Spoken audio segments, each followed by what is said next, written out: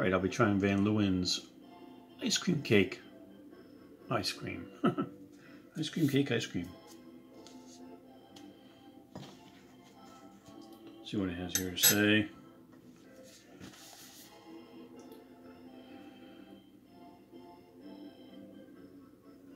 Birthday cake ice cream with dark chocolate cream-filled cookies and swirls of blue frosting. Hmm, dark chocolate cream-filled cookies.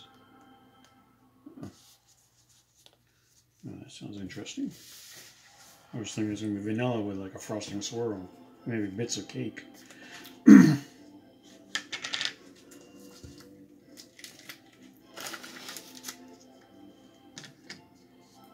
yes, you can see the see if I get the light to. There we go. Blue frosting. And I see chunks of cookie. Ooh. Okay. Let me get it scooped up. Okay, well we got a big chunk of cookie right there. Might as well hit that first.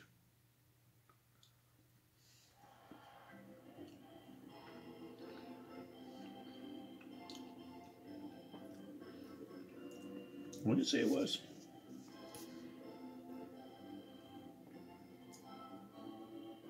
Dark chocolate cream puff, so Oreo.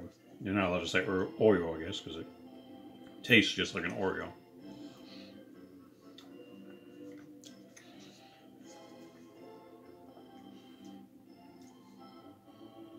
See if I can find a nice bit of the, uh, here we go. Get the blue frosting. Yep, tastes like frosting. okay, no surprise there. No way I'm going to be able to get just the ice cream. There's just too much mixed in with it. I'll try to get the best I can.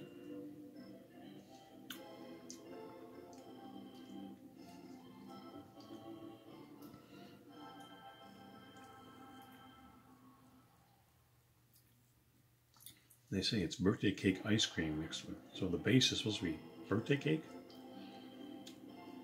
Because the birthday cake doesn't have a flavor. Typically just a white vanilla cake. All right, now let's get it all, get all of the elements here. See if I can get all of it.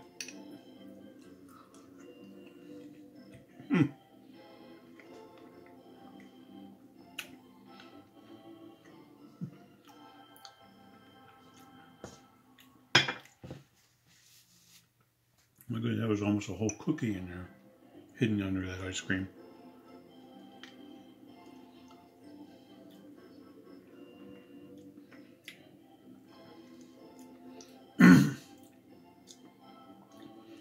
well, overall, it's a good flavor.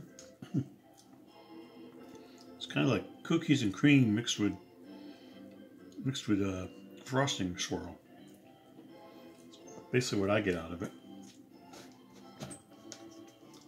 Oh, but it does make for a good, good combination. So, I like this one.